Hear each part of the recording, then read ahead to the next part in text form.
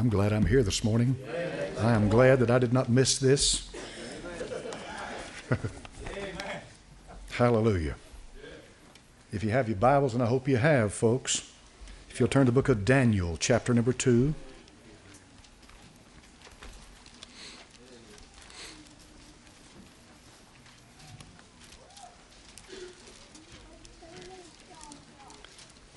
Daniel chapter 2. If you'd like to stand this morning. And verse number 43, we'll read one verse of Scripture. Daniel chapter number 2, verse 43.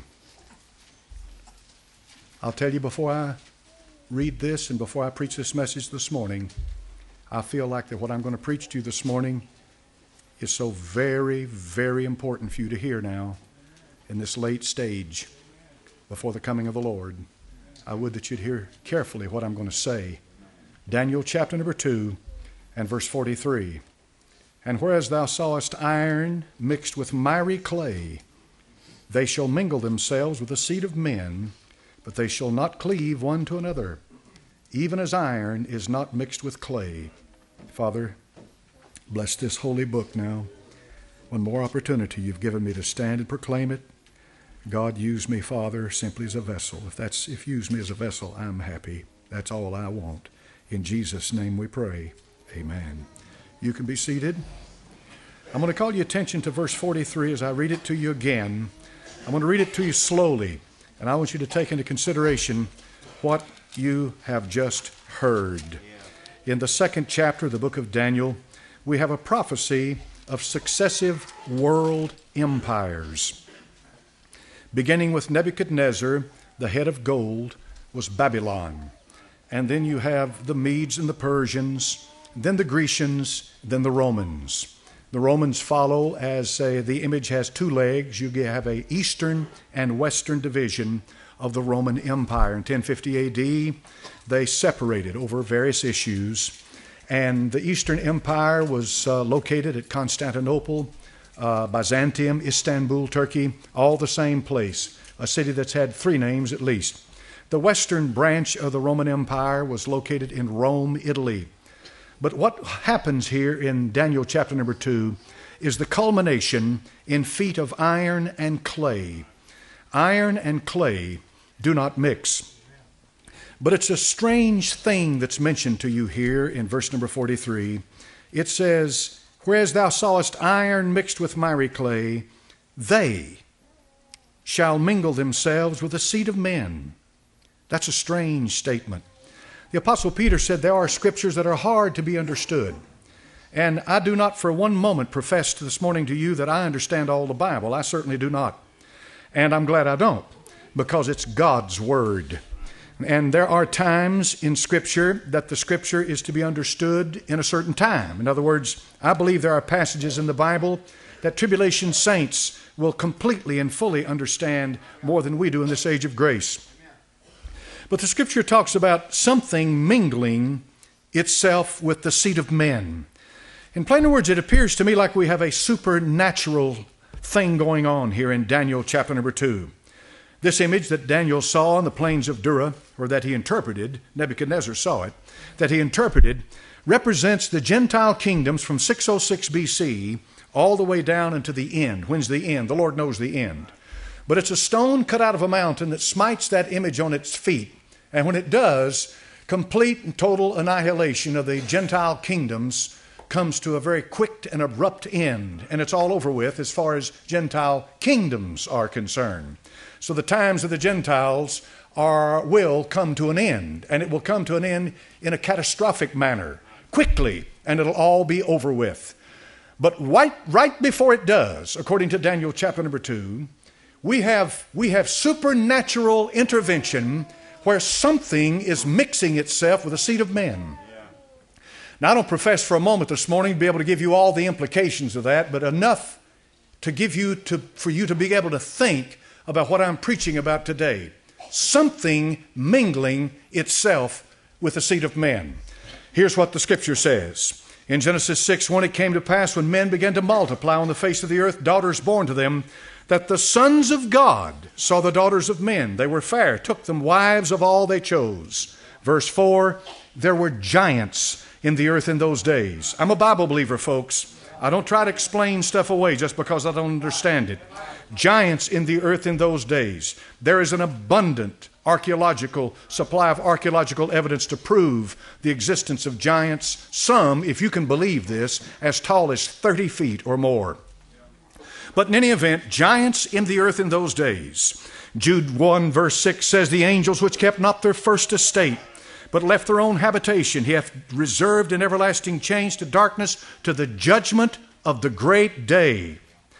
Jude 1 7, even as Sodom and Gomorrah and the cities about them in like manner going giving themselves over to fornication and going after strange flesh are set forth for an example suffering the vengeance of eternal fire then peter says for if god spared not the angels that sinned but cast them down to hell and delivered them into chains of darkness to be reserved to judgment in verse 5 chapter 2 of peter he says and spared not the old world now watch this but save the eighth person Noah was the oldest one on the ark, yet Peter called him the eighth. That's because God started the new world with Noah and not with the rest of them. And saved Noah, the eighth person, a preacher of righteousness, bringing the flood upon the world of the ungodly. In the book of Genesis, chapter number 6 and verse 9, we read the, this These are the generations of Noah. Noah was a just man and perfect in his generations. The word in Hebrew translated perfect is tamim. Look it up and you'll find out that word means that he was pure in his genealogy, in his pedigree, that he was a direct descendant of Adam. No admixture of a, no adulteration of his seed from any angelic bloodline or anything of that nature. That Noah was therefore qualified to carry the seed of Genesis 3:15, where the promised Messiah would come would come through Noah. And so Noah was perfect in his generations and walked with God. And the scripture says plainly that Noah is the one, his name means rest, who God carried over from the old world into the new and repopulated planet Earth with the descendants of Noah, Shem, Ham, and Japheth. So it's important to understand biblical history to understand where I'm leading you this morning. In the book of Genesis, chapter number six or five, rather, a remarkable thing takes place. I'll go through it quickly. The names of the people who preceded Noah, when you look at their names individually, you get a statement from Scripture. And here's what it says You have the son of Seth, Adam's son is Seth, Seth's son is Enos, Enos' son is Kenan, Kenan's son is Mahalalel, Mahalalel's son is Jared, Jared's son was Enoch, and Enoch's son was Methuselah, and Methuselah's son was Lamech. And so we follow their names on down to what they mean, and we get this statement from Genesis 5 Man appointed mortal sorrow. The blessed God shall come down teaching, his death shall bring the despairing rest or comfort. Their names mean something. Put them together, and that's the statement you get. The name Methuselah means that when he is dead, it will be sent, or at his death, he will come. Relating to that, his death shall bring. And that's a prophecy as God is preparing the world for the flood and for the imminent judgment as he would bring damnation upon this earth. Now we move past that quickly to what I preached you last Sunday morning.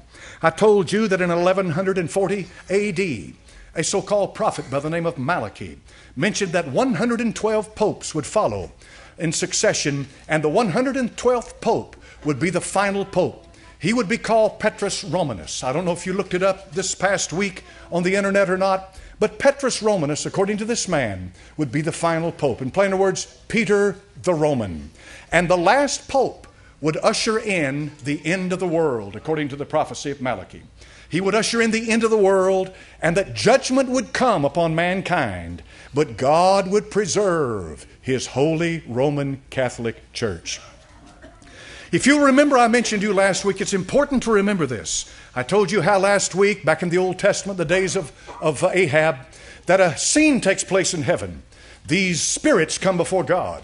And God says to them, Who will go forth and be a lying spirit in the mouth of his prophets? And this one said, I'll go. And God said, You go. And this spirit went forth and became a lying spirit in the mouth of the prophets of Ahab. Told him it was fine to go into battle. But we know what happened to Ahab. We know that a man pulled a bow at a venture turned loose of the arrow, and that arrow found its mark, smote Ahab while he was in his chariot. The Bible said once he died, they washed the blood from the chariot of Ahab, that he had died on the battlefield. They first tried to go to Jehoshaphat, but Jehoshaphat had, by Ahab's instruction, put on a robe like the king.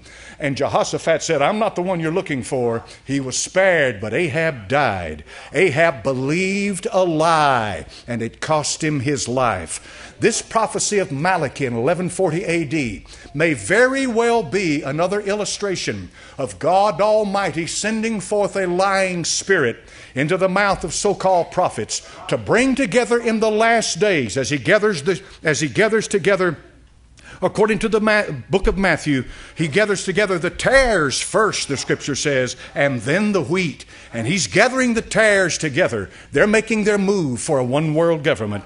And so it could be that this is exactly what's going on with this prophecy of Malachi. Is this prophet, this pope that's going to come up? When Pope uh, Benedict XVI has resigned, the 28th day of this month, which is Thursday, is the last day of his pontificate. They will, they've called together a conclave. They have their cardinals. They will pick a pope to succeed him, to sit in the chair of Peter. And this pope, according to the prophecy of Malachi, will be the last pope to ever sit on, a th- on, on, the, on the, the, the chair of St. Peter in Rome. Will this happen? God knows if it'll happen. But I know this I know that a world is watching Rome. I know their eyes are fixed upon what's going on in the Vatican. I know that people are holding their breath. I know that 1,000 million, 200 million Roman Catholics on the face of this earth right now, that's a bunch of people, folks, are waiting, bated breath, to find out who the next pont, uh, Pope of the Roman Catholic Church will be.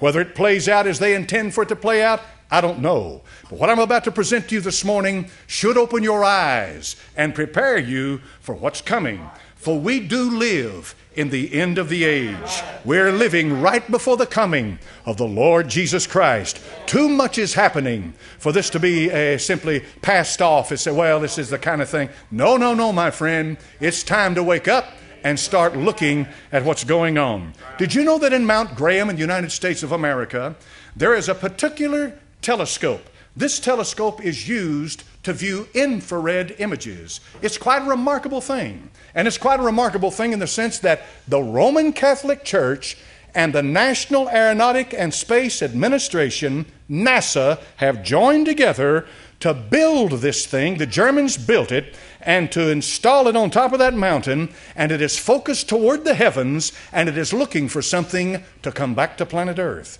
They're focusing out into the sky and they want to see what's coming and when it will appear.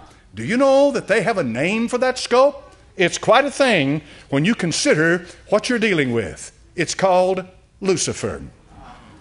Of all names to give to a scope, Lucifer. They didn't name it in ignorance. Anybody that's ever read the Bible, Isaiah 14, knows what the word Lucifer means and exactly who it is speaking about. But listen to the, some of the statements that come forth from their astronomers and their professors in their universities. Now, listen carefully. These are statements that are coming forth from the Roman Catholic intelligentsia, from the teachers, the Jesuits, the movers and the shakers in the Roman Catholic Church. Don't bother to go to some poor Catholic soul, and a lot of these Catholics out here are good people. They love the Lord, they don't know what's going on.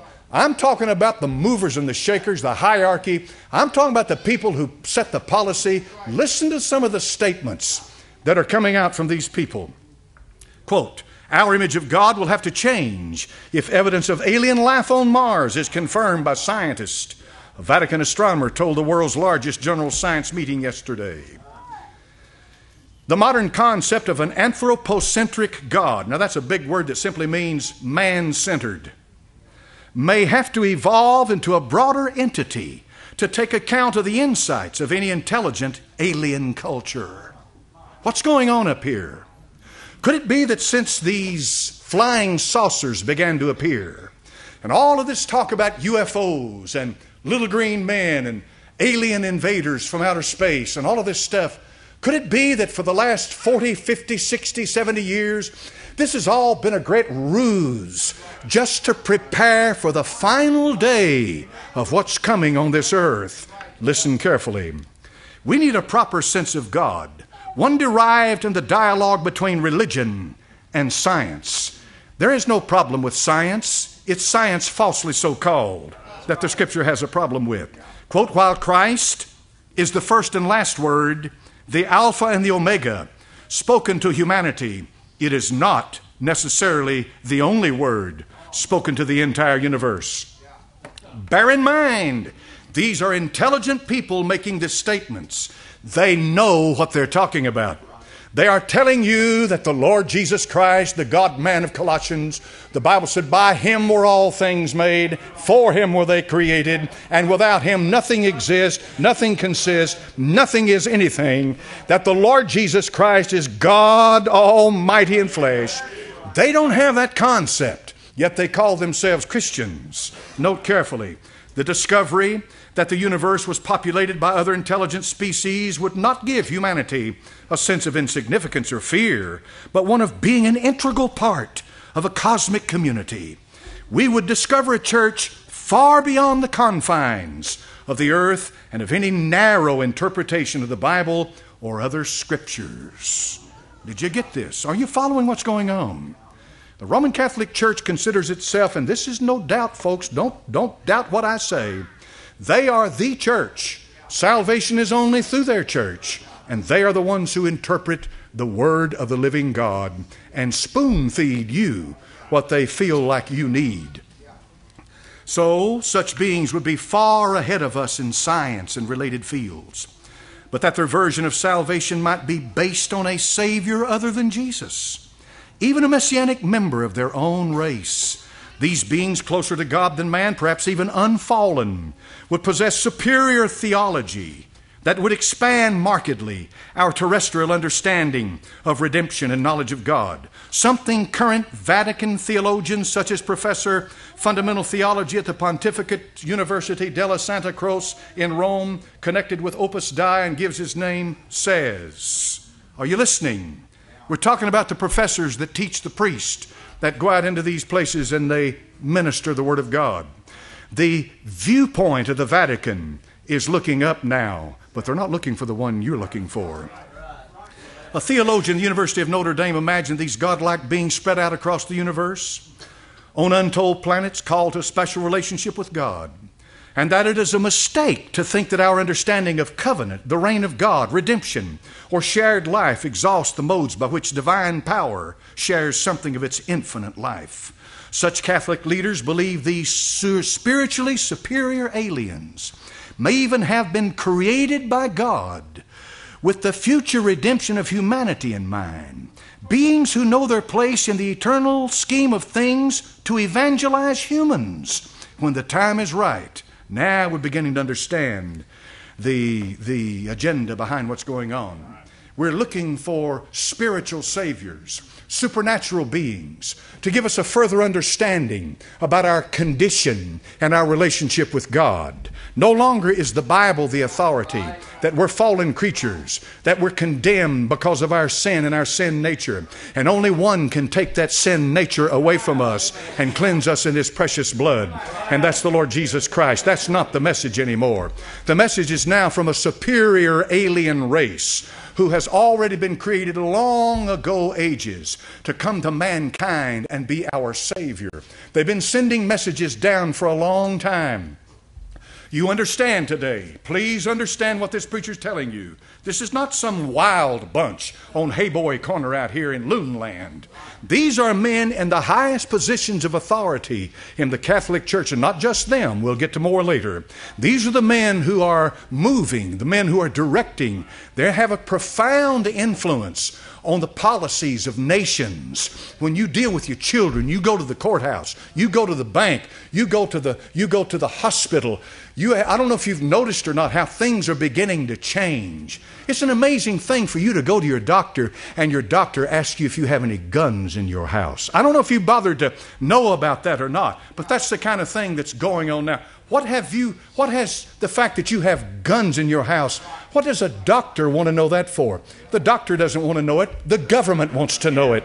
And they're using the doctor as a vehicle to reach into your privacy. Somebody's moving towards something, and we need to wake up. It is entirely credible that in the enormous distance between angels and humans there could be found some middle stage. That is, beings with a body like ours, but more elevated spiritually.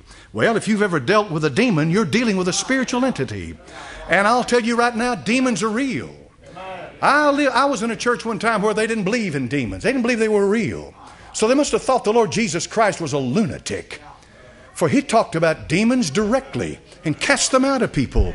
The Bible says in the last days we'll have doctrines of devils, of demons. We are literally saturated in our churches, in our culture, in our schools, in our government with demonic influence and possession. I'm not saying everybody's demon possessed, but I'll guarantee you one thing their influence is real. It certainly is. Let's move out of the, out of the spectrum of the church and notice what the Muslim scholar says. He quotes the Quran, which is the Muslim holy book. He says, Among his signs is the creation of the heavens and the earth, and whatever living creatures he has spread forth in both, and he has the power to gather them together when he will so pleases. Jahami or Jam'ihim is the Arabic expression in this verse, which specifically speaks of bringing together of life on earth and life elsewhere. When this meeting of the two will take place is not specified, nor is it mentioned whether it will happen here on earth or elsewhere. One thing, however, is definitely stated this event will most certainly come to pass whenever God so desires. Do you know that in a country right here, in the good old US of A, that church after church after church has pastors standing in the pulpit trying to show the similarity and the unity of the Christian faith and the Muslim faith. It's called Chrislam. They're trying to unite the two together. Now, Chrislam is never is not based on fact. The Muslim believes that Jesus lived, yes. Mary was his mother, yes. But they believe he's no more than a prophet. They do not believe that he's the Son of God. They don't believe God has a son. Now, how can this Christian pastor stand in a pulpit and try to unite together a Muslim and a Christian under a common faith? That's an impossibility. Yet, if the spirit that drives that pastor is the same spirit that I'm reading to you about this morning, where the Muslim is looking up into the heavens too for a coming Savior, then maybe we have going on in these Chrislam churches part of this gathering together of the tares, gathering together for the last days, this false Christ that's soon to appear on the scene. Check it out. Before you get mad and just turn against it, check out what I'm talking about. There is no dialogue between a Muslim and a Christian. None. None. None. So we go into the secular field. What do the professors out there in the world think about this? Furthermore, the expectation that aliens are headed our way extends to the non religious worldview as well. A philosopher at the University of Rochester writes I believe even responsible scientific speculation and expensive technology of space exploration in search of other life are the peculiarly modern equivalent of angelology and utopia or demonology and apocalypse. In plain words, he believes that it's definitely a good endeavor, that we can learn from more advanced societies in the skies. The secret of survival is the eschatological hope that motivates, or at least is used to justify, the work of exobiologists. Yes, our Savior is going to come. He's going to come down and they're looking for him, but he's not mine. In addition to their obviously superior technology, they are credited with a superior wisdom and moral goodness, which would, on the other hand, enable them to save humanity. We're not talking about a professor in the Catholic Church. We're talking about a secular professor in a secular university, and they're not alone. They're growing by leaps and bounds. Thus, a belief in godly aliens that will ultimately come in contact with man has wide interfaith acceptance among secularists, spiritualists, and the world's largest religions who seem ready and even excited about embracing their official disclosure moment. Yes, we're there. We are at the door. There is an emerging church rising up in America, folks. I've been telling you about it over and over again. They're pointing people to Rome. The evangelicals in this country are headed to Rome. The apostate Christendom, however you want to define it, is headed to Rome. And as I said to you a moment ago, Chrislam is certainly headed for Rome. They're all headed back to Rome. Remember this. Remember this. In the book of Revelation, chapter number 17, it talks about a woman that sits on a beast on seven hills. There's only one city, and there was no question that even Catholic, even Catholic authorities, even their own interpreters say that's Rome. That's Rome. But they put a different spin on it. In Revelation 17, it says that she is guilty of the blood of the martyrs, that she's trafficked in the world from generation to generation. Now, folks, I know the kind of preaching I'm giving you this morning make people mad. I know that. You, want, you call me a bigot, you want to call me whatever you want to call me. But the truth of the matter is, I have a responsibility to teach to you the truth. I just told you, I just told you that the leadership, and so much of the leadership in the Roman Catholic Church, is looking for some kind of an extraterrestrial, supernatural, super spiritual, super moral being to come down. Not only that, I don't have time for it this morning, that's connected with a serpent. They even say it's connected with a serpent. And this being that's come down is going to lead them on into salvation. This world is being prepared for the greatest deception that's ever come upon the face of the earth. Secular authorities are teaching it, and so are Muslim authorities. That's what will join them all together. What will bring them together is not a common belief in individual personal salvation.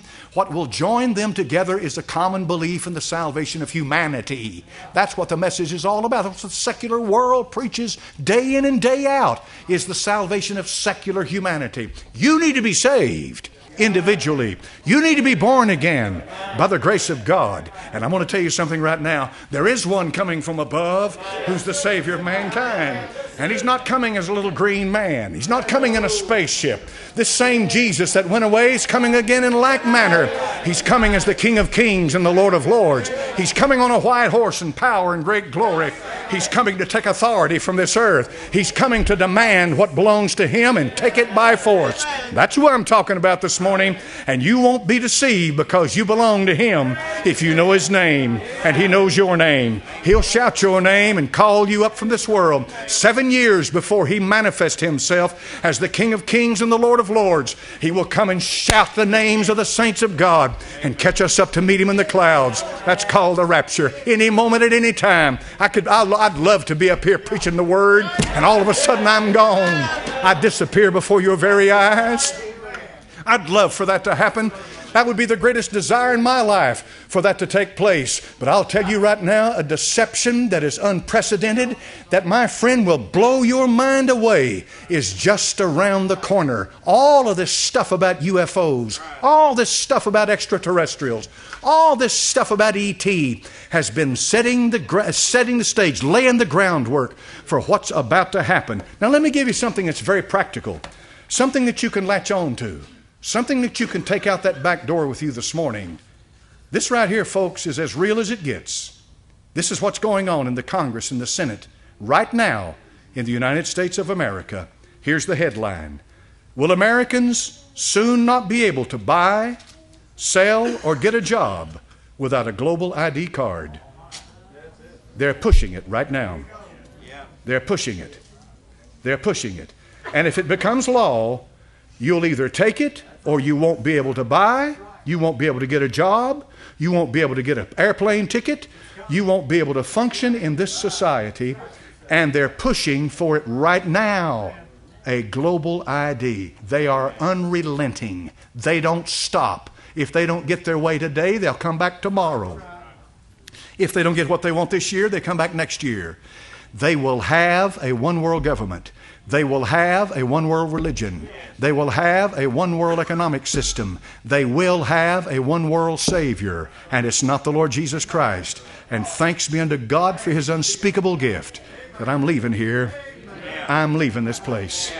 I know whom I have believed. I know whom I have believed.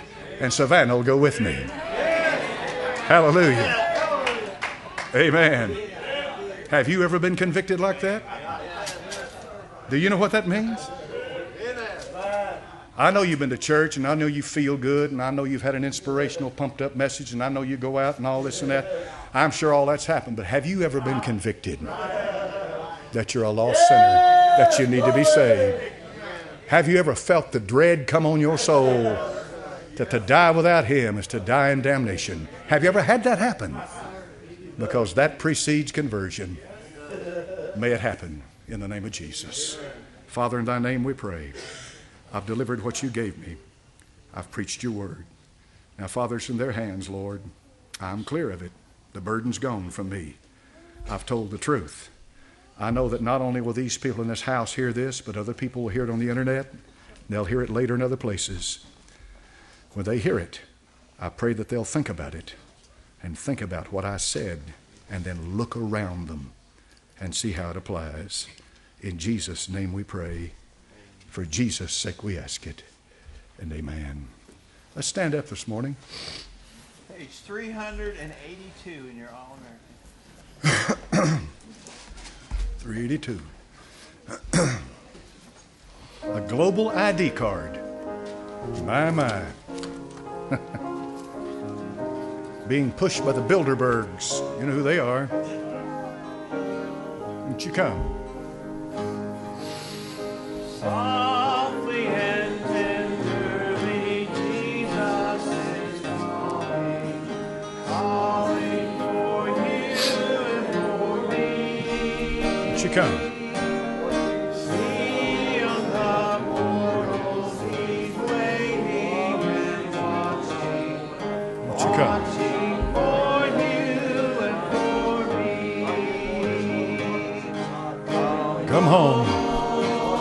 We all may be home sooner than we think. Come home.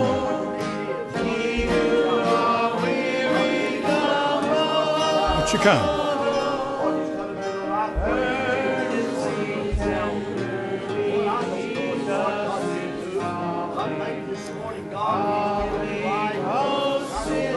Won't you come?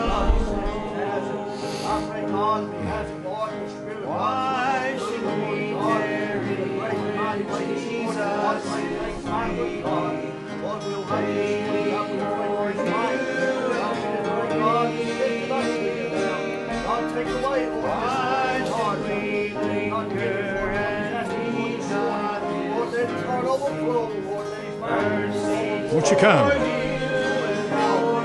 Come unto me, he says, all you that labor and are heavy laden. Take my yoke upon you and learn of me, for I am meek and lowly of soul. You shall find rest for your souls. Won't you come?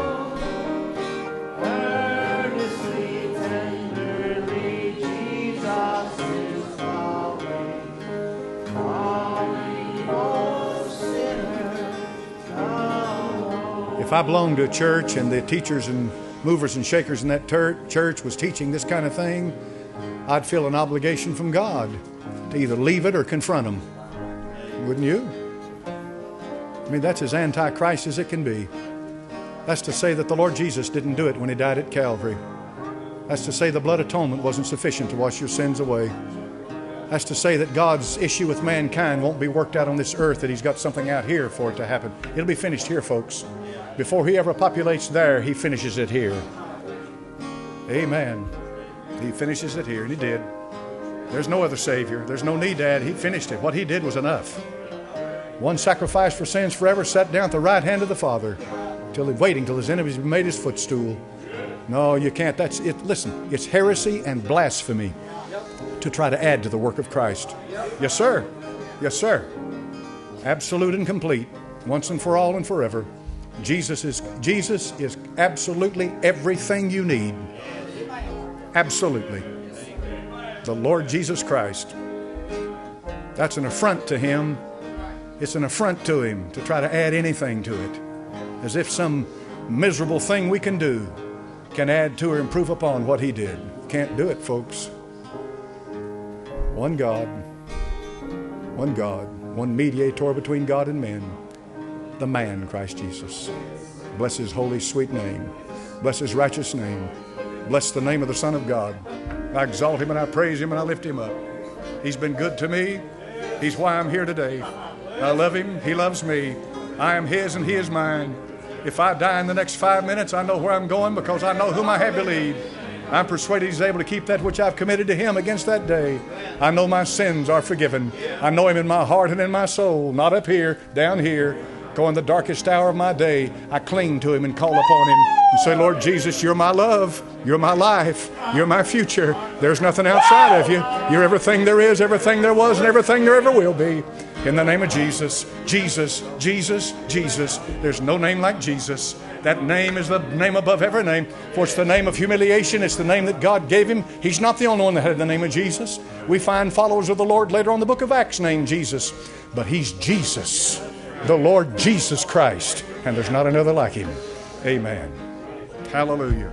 Sing one more verse, brother.